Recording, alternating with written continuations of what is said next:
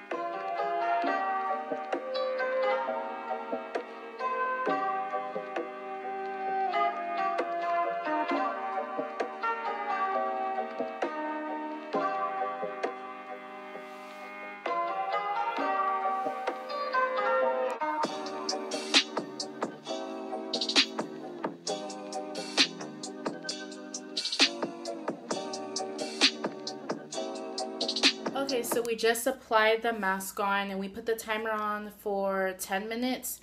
On here it says for delicate skin to put it on for 5 to 10 minutes and if you have normal skin to put in for 15 to 20. So I have sensitive skin, so that's why you put it for 10 and she has sensitive skin too.